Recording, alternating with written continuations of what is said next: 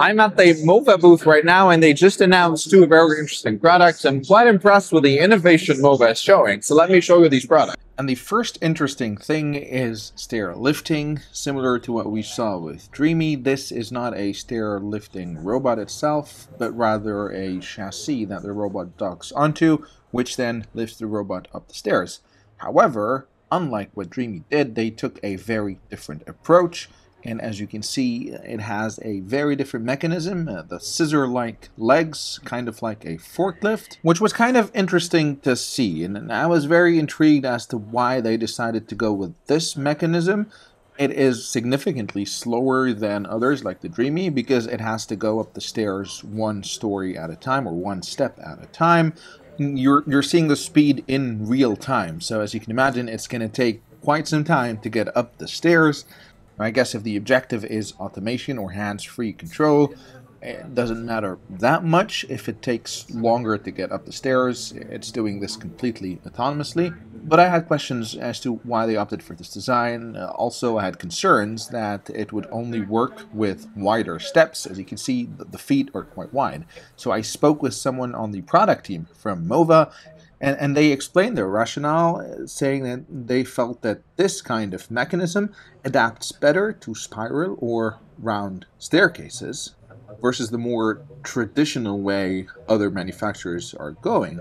And when I asked about what is the minimum width the step has to be, they said it can be as low as 24 centimeters. Now, I did ask if this will work across all MOVA robots, and I was told it will not work with the existing product line of robots. However, when they do release their new lineup of robots, this will be cross-functional, so it will work across many different MOVA robot vacuums. And over here, they are showcasing their vacuum robots, and here we have the Z60 Ultra Complete. And I absolutely love the innovation in this. For starters, it has the carpet guard, which I think is extremely important. This guard over here uh, prevents your carpets from getting wet.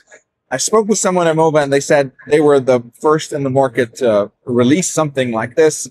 Dreame also has it in their Aqua 10 but MOVA is associated with Dreame, so it could very well be that the innovation started here with MOVA. It also has dual brush rollers, and one of them has bristles, so it can actually dig deep into the carpet to clean it and, and get dust and debris out. It's also anti-hair tangle. Of course, you've got edge mopping over here, so this extends to the edge to clean it and there's edge sweeping with the side brush extending to the edge. Now, on the other hand, they do have a tracking version, but they explained to me this is still a concept one.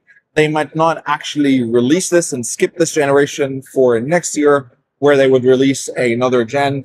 Part of the reason is um, there's no guard for this over here, so they're trying to figure out a way to create a carpet guard to cover the tracking knob. In theory, cleaning performance should be better on a tracking version versus a rolling one just because there's more surface area over here, so there's more of the brush roll in contact with the floor. I very much look forward to what they end up releasing. One of the interesting models they have on display here, and it's still a concept, is the Cyrus 60. It has a robotic arm, as we have seen as the tendency, However, they take a different approach. Instead of having the arm from the top of the machine, which is going to take away from the space of the dustbin, they have it on the side. As a result, not only can they maintain the same internal organization of the robot, but this arm can actually lift more by itself. It can lift up to 600 grams, but apparently over here they have kind of a finger that can go out and retract and hug larger items. So it can actually move a dustbin up to 1.5 kilograms, which is quite interesting. Over here, this arm works in conjunction with a mechanical arm to sweep, but you can also replace the sweeping brush with a mopping pad that can mop. So in theory, this can lift up the slipper, while this arm over here will sweep under it or mop under it. The mop you change over here can be cleaned on the base station as well. Another benefit of the arm being on the side is it does not require a lot of clearance. So imagine the robot is under your bed and it needs to move a cable or a sock. It can go out of its space, move that around, whereas most competitors or all competitors have it on the top and they require a lot of clearance to operate. On the back of this machine, it has a roller mop, so it is similar to the Z60 that they introduced. So it's quite interesting. It's a concept, but MOVA is thinking in innovative ways and this might make its way to market I'd be very curious to see how it actually performs in the real world. In the wet and dry vacuum cleaners, they released the M50 Ultra, which again has a very innovative design. It's the first wet and dry vacuum cleaner that can actually flex. So we've seen these on stick vacuum cleaners, which can flex and, and go under furniture. Now it's the first time we see that on a wet and dry vacuum. So the flex can actually help you go under furniture without needing a lot of clearance or having to bend over much. That's quite interesting. I, I love this design. And they're also showcasing a line of cordless stick vacuums. It has a lever over here that you can use to push the dust and also compress the dust so you can maintain the cleaning efficiency but also make fewer trips to empty the dustbin.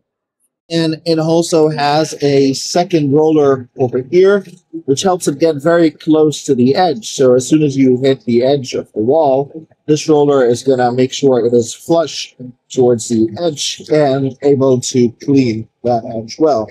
And it seems they're also releasing coffee machines. So this is a manual espresso machine. And it appears here we have automatic bean to cup coffee machines this looks very similar to the Dreame one that I saw earlier on their booth with a small milk frother system on the side. And this is a larger automatic bean to cup coffee machine. And this seems to be uh, their larger flagship model, which has a large touchscreen. We're going to see it's preparing coffee over here. This seems to be a separate chilled fridge to store the milk, so it's going to use that milk to create your milk-based lattes or cappuccinos. But not only that, Mova seems to be venturing into other product categories. We have a pulse blender over here. This seems like it does slushies or smoothies. And then there is this. It looks like a slow juicer. We have an air fryer over here and another grill slash air fryer at the seam. We're also doing toothbrushes or electric toothbrushes. That's a category I did not imagine a company like Mova would get into. And they are also demoing hair products. They've got hair dryers and styling wands over here. This is a very interesting looking hair dryer, C-shaped hair dryer. Wow. It has very powerful airflow and you can change the velocity and see the reading on the screen. So that's 35 meters per second, and it goes all the way up to 65 meters per second.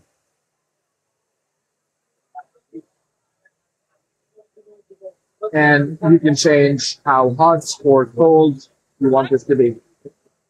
And apparently the benefit of this C shape is that you can actually put your hair inside this which helps dry it faster, but also results in smoother hair.